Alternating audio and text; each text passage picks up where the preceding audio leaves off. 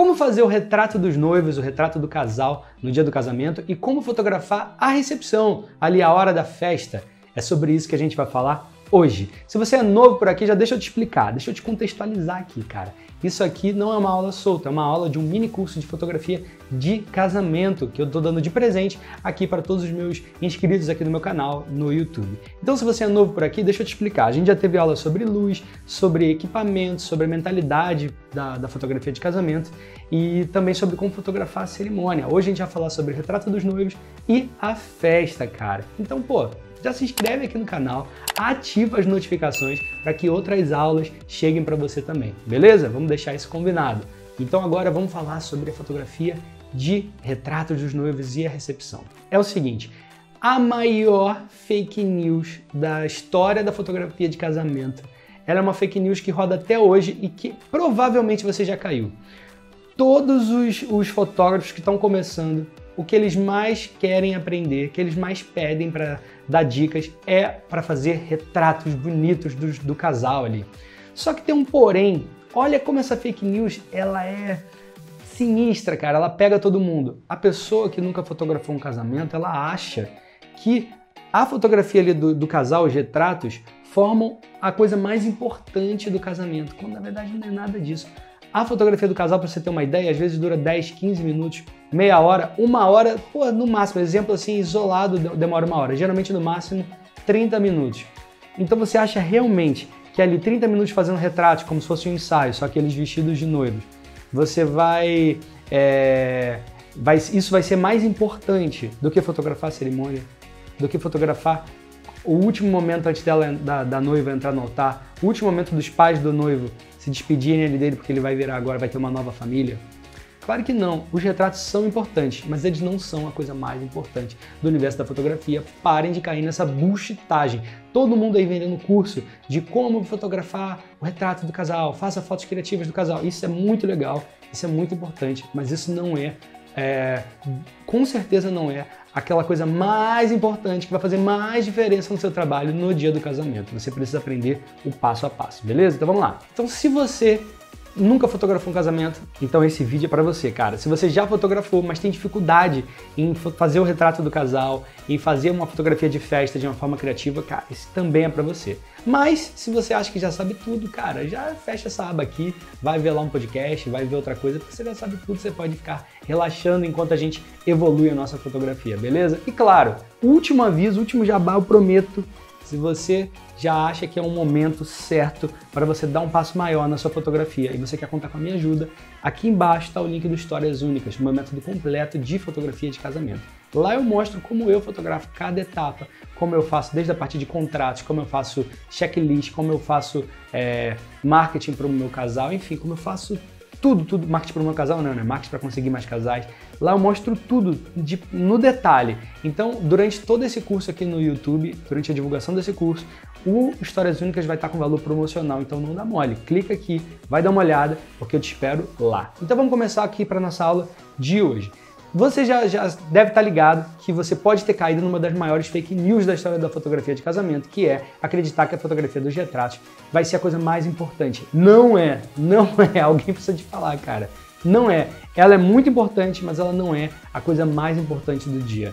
Não adianta você ferrar com a cerimônia e só fazer bem retratos, cara, isso não vai te ajudar. Você precisa mandar relativamente bem em tudo, para ser mais sincero. Mas se fosse escolher uma coisa, com certeza não seria o retrato do casal. A chave para você fotografar os retratos dos noivos ali é organização. Você precisa se organizar. E como você faz isso? Perguntando. Bruno, você é muito repetitivo, cara. Você está falando um negócio de perguntar sempre. Sim, você precisa perguntar. Noiva, quanto tempo a gente vai ter para fazer seus retratos depois da cerimônia? Cerimonialista, quanto tempo aí no seu cronograma tem reservado para que eu faça os retratos? Eu preciso de no mínimo tanto tempo, se você for um fotógrafo mais exigente. Tem fotógrafo que faz isso. Fala assim, olha, depois da cerimônia, eu preciso de 45 minutos. Dane-se, dá o seu jeito aí. Tem gente que trabalha assim. Eu não trabalho desse jeito. Porque, primeiro, porque eu acho que 45 minutos é muito tempo, fica chato. O casal não pode, imagina só no dia do casamento dele, tá achando que é, tá sendo chato, a experiência tem que ser boa. Então eu faço no menor tempo possível, da forma pô, mais descontraída, mais leve possível, as melhores fotos que eu puder. E como eu faço isso? Primeira coisa é me organizar. Cerimonialista, quanto tempo? Ah, eu tenho aqui 15 minutos. Negocia. Pô, será que a gente pode subir para 20? Será que a gente pode subir para 25? Então tenho meia hora. Beleza, pode deixar que em meia hora a gente vai estar bem resolvido. Eu te entrego eles lá na mesa do bolo para eles jantarem, para eles fazerem outras coisas. A gente vai resolver, pode deixar.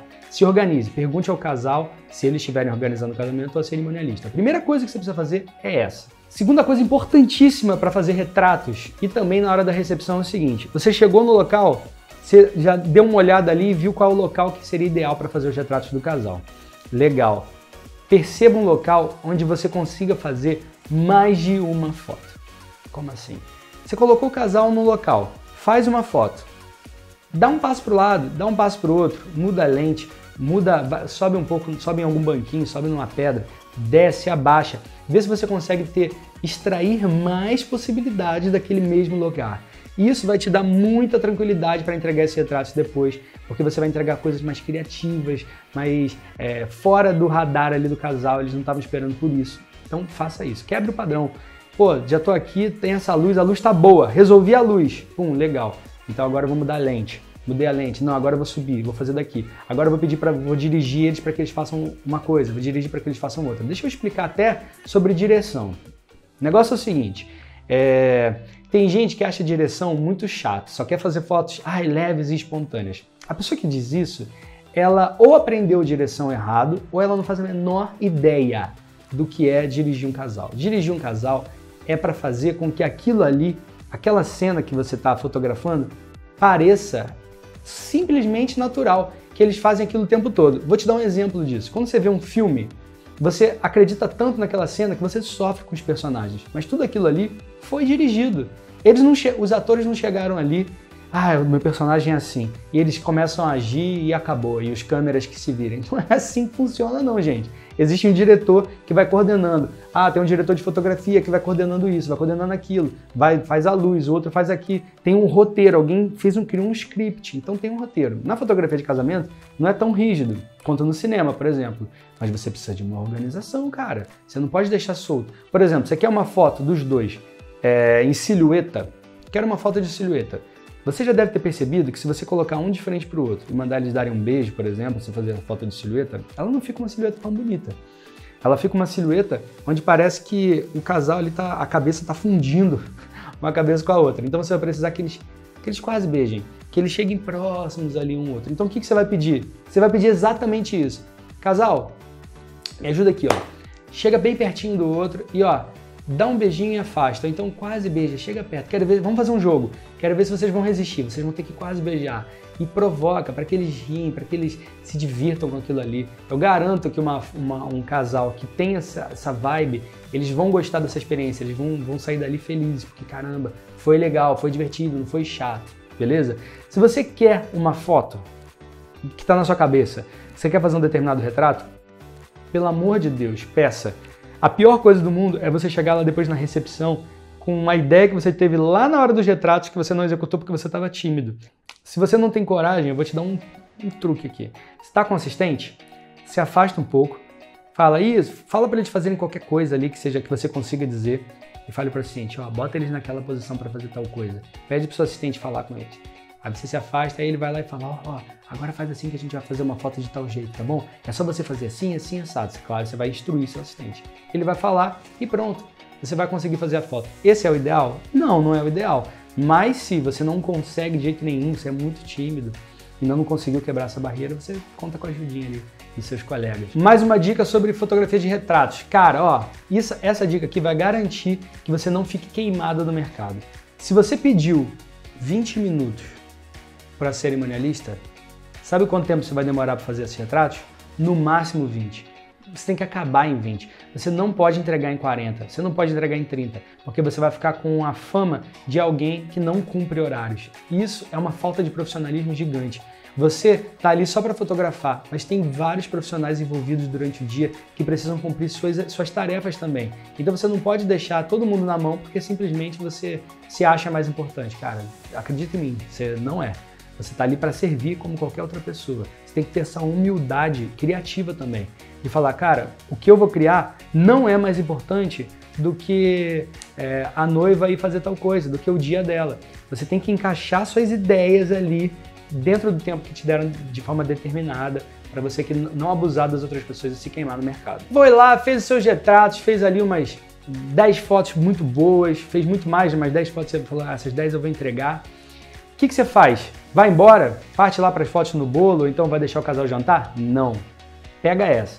Acabou? Chega e fala assim, casal, eu tô falando casal, mas você fala o nome deles, né? Lógico. Você fala, fulano, fulano, olha só, já temos, o material aqui tá incrível. Mas deixa eu perguntar uma coisa para vocês. Tem alguma foto que vocês queiram, que vocês estejam em mente assim? Esse é o momento de pedir. Peçam o que eu vou fazer. Isso pode parecer é, desnecessário para vários fotógrafos, mas por que eu gosto de fazer isso? Primeira, você chama o casal a responsabilidade de também criar. Outra, se eles estiverem com alguma ideia na cabeça, eles não vão ficar frustrados por você não ter atingido. Já, já mata aí.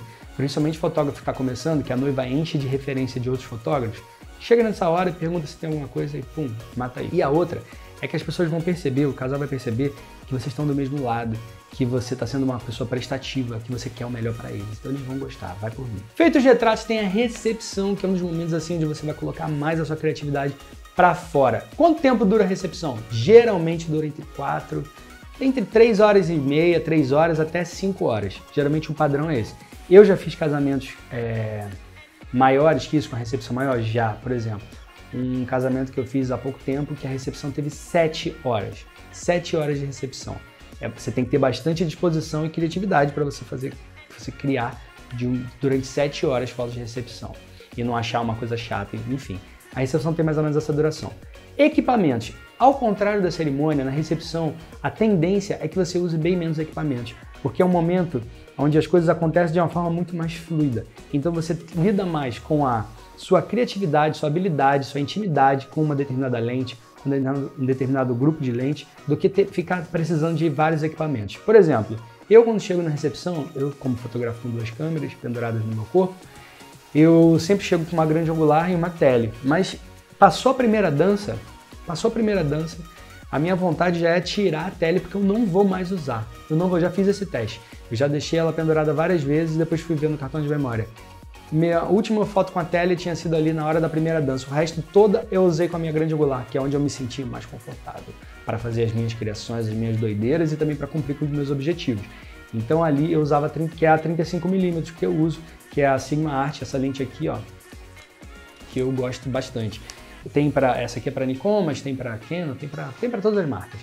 É, então fique ligado nisso. Você precisa se conhecer para saber quais equipamentos você vai levar. Pode parecer besteira, pode parecer besteira, mas quatro horas com duas câmeras penduradas, ó, pesadinha, uma de cada lado. Se você não tem um assistente ainda com flash em cima, cara, esquece. Você vai chegar no final, você vai estar muito cansado. Então, se você puder tirar um, tira. Não esquece de tirar o cartão de memória dentro, lógico, na hora, e já colocar ali na sua bag, na sua case, para você não, depois não se perder. Então, os equipamentos que eu uso são uma câmera, geralmente na hora da recepção, uma lente grande angular e o flash fora da câmera que eu coloco o meu X Pro, que é o meu transmissor ali em cima. E o resto eu vou criando. além disso, eu gosto também de pegar um tripé, colocar uma luz colocar em algum lugar estratégico. Boto meu tripé no máximo possível, assim, acima de 3 metros, bem alto mesmo, para que eu faça uma luz de recorte. Em alguns momentos, para mim, isso é todo o tchan da foto que eu preciso é esse. Então eu uso o meu assistente para fazer a primeira luz, para fazer a iluminação ali, aqui light, como chama no estúdio, né?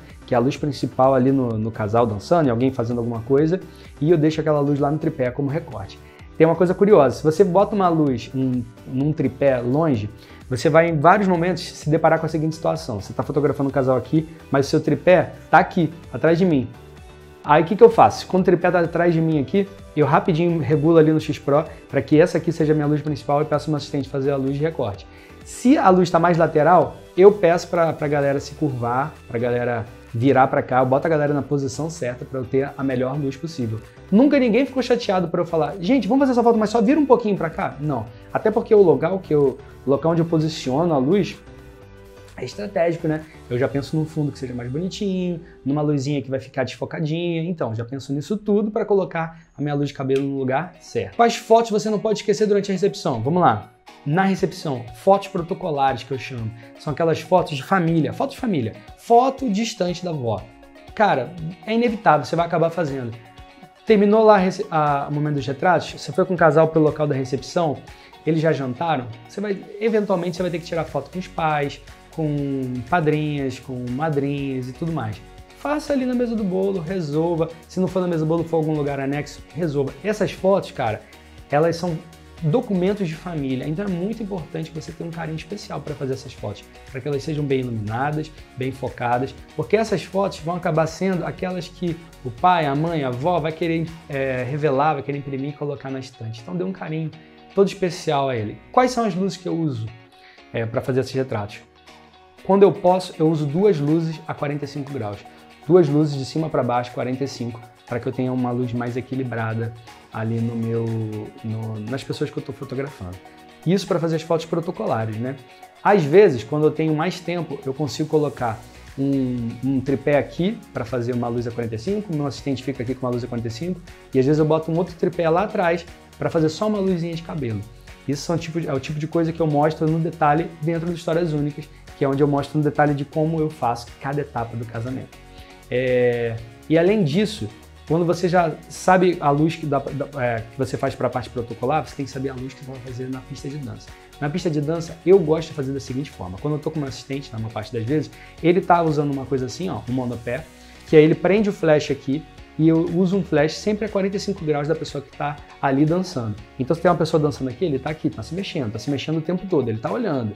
E aqui, ele vira para cá, a pessoa virou para cá, ele vira para cá. E a gente vai indo desse jeito é, criando ali juntos. Você vai precisar muito da ajuda dele se você tiver um assistente. Se você estiver sozinho, flash em cima e aí você vai usar os seus transformadores de luz. Eu vou te mostrar agora alguns que você pode usar. Aqui, esse aqui você pode colocar ele em cima do seu flash. Esse aqui é um do, da Magmod, mas desde que inventaram aí vários sites para você comprar coisa da China, você sabe que encontra similares também, caso você não, queira dar a própria Magmod embora eu indique, porque é um produto de altíssima qualidade mesmo, você coloca que ele, é um, ele dá uma, uma rebatida na luz para frente. E o outro é um difusor, que você coloca no flash, você pode colocar o flash para cima, para frente ou para cima, tanto faz. E ele é legal porque a luz chega bem bonita. Esse aqui eu uso a maior parte do tempo no meu flash. E esse aqui, quando eu uso flash em cima, eu uso bastante também, principalmente na hora de fazer esses retratos assim de, ah, junta aí, faz um retrato. Eu acho que ele ilumina bem de uma forma, de uma maneira uniforme, sabe, bonita. Então, eu indico. Criatividade na recepção. Ó, se tem um lugar para você colocar tua criatividade para fora, é o momento da recepção, cara. Ali é o momento de você ser criativo. Como? Com a sua luz, com a sua composição, com a sua ousadia, com as tuas referências. Cara, coloca isso para fora. Quero fazer uma dupla exposição. Tô em dúvida em que momento do casamento eu faço. Eu falo, com certeza faz na recepção que é onde você vai ter mais elementos para você criar. Você pode pegar uma dupla exposição ali na própria câmera, misturar a luz do, do, do, teto com o retrato do casal, pegar o casal dançando e misturar com, sei lá, com as estrelas do céu. Cara, a criatividade não tem limite. Então ali o momento da recepção é o momento para você fazer isso. Nem sempre se encaixa bem uma, uma super criatividade na, durante a, o making off, por exemplo, onde você precisa de fotos mais limpas. Você precisa de fotos mais clean, fotos que sejam um, retratos que mostrem mais aquilo que está acontecendo, embora você possa também fazer uma luz extremamente dura e uma luz bem cortada, com bastante sombra, bastante luz e sombra, contraste, que é incrível. Mas você também vai precisar fazer fotos mais formais na maior parte das vezes durante, uma, durante o making off. A recepção não, cara. Recepção é o momento de criar, de dar louca, de fazer coisas que você queira. Embora tenha momentos super relevantes também que você vai ter que ser um pouco mais vamos dizer assim, mais protocolar, mais quadradinho. Por exemplo, primeira dança. Cara, primeira dança, o que você tem que fazer? Fotografar o casal dançando. Então não tem como você fugir disso. Ah, não, na primeira dança eu só vou entregar fotos de reflexo do casal dançando que eu vou ver através de uma garrafa de bebida molhada. Cara, assim, faz essa foto também, mas não vai ser. Se você só entregar ela, eu acho que a noiva deve ficar chateada. Então entregue mais, assim, entregue também fotos que você gostaria de receber, mas fotos também que você acha que o outro gostaria de receber. Coisas importantes para falar sobre a recepção. Cara, a recepção geralmente você tá faminto. É o momento de você reservar um tempinho para comer. O que, que eu gosto de fazer que eu te dou essa dica? Combina com o seu segundo fotógrafo. A hora que um comer, o outro vai lá e fica fotografando. Depois, quando ele voltar, você vai lá e come. Sei lá, dá os, cada, cada pessoa, cada empresa tem a sua forma de se organizar. Eu acho que assim é melhor. Porque aí, se todo mundo for, for, comer ao mesmo tempo, pode ser que naquele exato momento alguém precise de, uma, de um retrato, aí você fala, não, agora todos estamos comendo. Assim, pode ser, pode, mas eu não acho tão legal. Acho mais bacana você não desamparar o seu contratado. Você fala assim, legal, meu segundo fotógrafo fica lá e eu vou tirar aqui, sei lá, 15, 20 minutos para comer. Depois eu volto e ele vai lá e come e fica todo mundo bem, tá bom? Então, essa é uma dica importante que eu deixo em relação a isso. Sobre a origem da comida, se ah, essa comida vai ser dos noivos, se a comida eu vou levar, cara, aí vai muito, é muito regional e muito da forma que você se relaciona com o casal. Por exemplo, nos meus casamentos, quando eu fecho contrato com os meus noivos, eles sabem que precisam contar com a minha equipe para a hora da alimentação. Então, geralmente a alimentação é provida por eles, buffet normal, de acordo com o que os, os convidados estão comendo. É, a gente não se senta é, ali na mesma mesa que os convidados, mas geralmente alguém faz uma mesa pra gente em algum lugar, até no próprio salão, uma mesa pra gente para sentar e comer, porque a gente também é filho de Deus, né, gente? Somos pessoas, a gente precisa ficar de pé e a gente fica de pé várias horas, desde o making off até a recepção são muitas horas, então você precisa se alimentar, tá bom? Então, se, ah, mas Bruno, eu fico sem graça para comer, cara, leva de casa, sabe? Leva uma quentinha, leva um sanduíche, leva um biscoito, chega lá, só bebe um refrigerante e junta com aquelas coisas que você levou para comer. Mas eu não recomendo que você fique em jejum por, por durante muitas horas, porque isso pode fazer até passar mal e ser uma coisa muito pior, né? Do que simplesmente perder sua vergonha de ir lá comer. E lógico, antes de sair da recepção, não esqueça de revisar todos os locais. Cara, veja se você não está esquecendo nada, porque é o melhor local para perder coisa é na, na, recepção. Que cai, você nem vê, a música tá alta, você não escuta o barulho da coisa caindo no chão. Então revise. Eu já perdi isso aqui em recepção, já perdi é, tripé, já perdi. Já, nossa, já perdi algumas coisas não muito agradáveis de se perder. Então eu recomendo que você revise. Assim como eu falei na aula da cerimônia, dê uma olhada para ver se você não está perdendo nada. E a dica master de hoje para a fotografia da recepção e retrato dos noivos principalmente para recepção, é a mesma dica que eu dei na aula da cerimônia. Tenha uma foto impactante de cada momento, cara, isso vai fazer muita diferença na sua vida. Vai fazer a primeira dança? Tem uma foto, uma foto que você acha assim, caramba, essa foto tá muito boa, muito impactante da dança. Vai fazer a decoração do, do momento ali da, da, do local da cerimônia, da recepção? Faz uma foto impactante. Vai fazer um momento do brinde? Cara, tenha uma foto que sintetize bem o momento do, do, brinde. Isso vai te ajudar muito mais a contar a sua história, tá bom? Não esqueça disso, porque é muito fácil você se esquecer de, de ir atrás dessa imagem.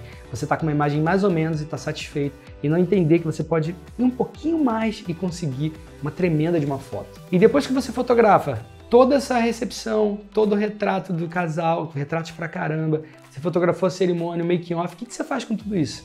Editar e finalizar o seu casamento lá no Lightroom.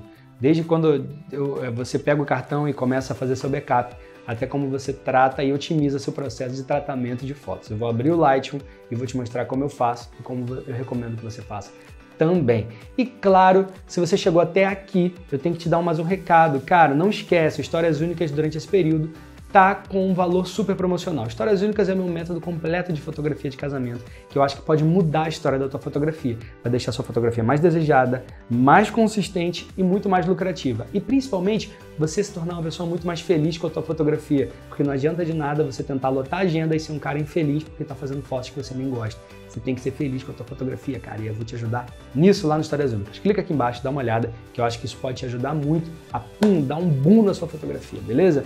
E a outra coisa, como você sabe, eu não estou aqui para ficar te vendendo curso e querendo que você compre o curso em tempo inteiro. Eu estou aqui para te ajudar, estou aqui para falar sobre as minhas experiências e sobre como eu faço a minha fotografia de casamento. E isso pode te ajudar também. Já são muitos anos que eu faço isso, já tive a oportunidade de fotografar casamentos em lugares assim que eu nunca tinha pensado antes. Tudo isso graças à fotografia de casamento. Eu espero que, da mesma maneira que ela mudou a minha vida, ela mude a sua vida também. Então, na próxima aula, cara, não, não esquece, cara, eu vou te mostrar como eu edito e como eu faço backup dessas fotos. E se você chegou até aqui, um código aqui entre a gente para saber que você viu o vídeo inteiro, coloca aqui embaixo.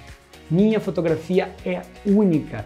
Minha fotografia é única, que eu vou saber que você assistiu essa aula até o final. Ó, muito obrigado, te vejo na próxima aula e valeu!